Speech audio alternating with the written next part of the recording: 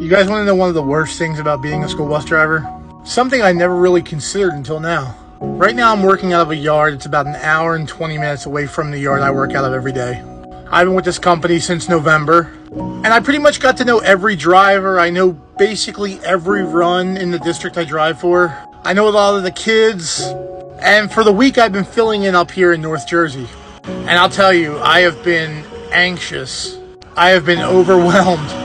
I don't know any of the drivers. I don't know any of the runs. I don't know any of the kids. And my anxiety level has skyrocketed. So, one of the worst parts of being a school bus driver is when you go to a new district with new people and new runs and new kids, and you just feel like the new guy. It's very overwhelming. But sometimes you gotta do what you gotta do.